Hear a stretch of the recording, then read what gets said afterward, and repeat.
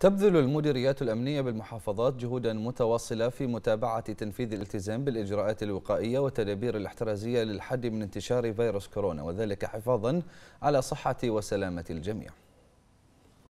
تواصل المديريات الأمنية جهودها المبذولة لتحقيق السلامة العامة ضمن الجهود الوطنية للتصدي لجائحة كورونا والعمل على تحقيق أمن وسلامة كافة المواطنين والمقيمين.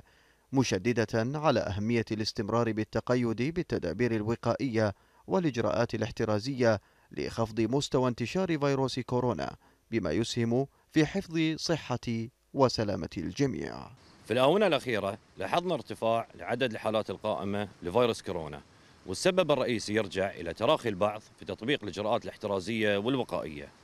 وإحنا بدورنا كشرطة خدمة المجتمع قمنا بنشر الدوريات في عموم المحافظة الجنوبية وذلك من أجل تكثيف الحملات التوعوية قبل حملات انفاذ القانون ونحث أفراد المجتمع على ضرورة الالتزام بالإجراءات الاحترازية والوقائية والتوصيات اللي وضعها الفريق الوطني الطبي للتصدي لفيروس كورونا وننبه على ضرورة ارتداء الكمام والحد من التجمعات وأخذ معايير التباعد الاجتماعي. قامت مديرية شرطة المحافظة الشمالية بالعمل وفق مقتضيات المرحلة الحالية بتعزيز الدوريات الأمنية الراكبة والراجلة في الأسواق والمجمعات التجارية والسواحل. وتمت مواصلة أخذ الإجراءات القانونية حيال الأشخاص الغير ملتزمين بلبس كمامة الوجه الوقائية في الأماكن العامة. وأيضا من أجل تعزيز الصحة العامة تم مشاركة وزارة الصحة في الحملة الوطنية لتطعيم المؤهلين ممن تنطبق عليهم شروط أخذ الجرعة المنشطة لضبط عملية التنظيم لدخول المراكز الصحية بالمحافظة الشمالية.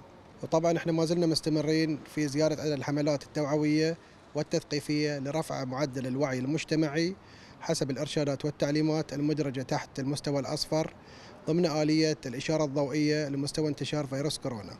هذا ويشكل الالتزام بالتدابير الوقائية ولبس كمامة الوجه وتطبيق التباعد الاجتماعي ضرورة قصوى في خفض تداعيات جائحة كورونا وهو واجب وطني على كل فرد في المجتمع لتجاوز هذا الظرف الاستثنائي والوصول إلى النتائج المرجوة.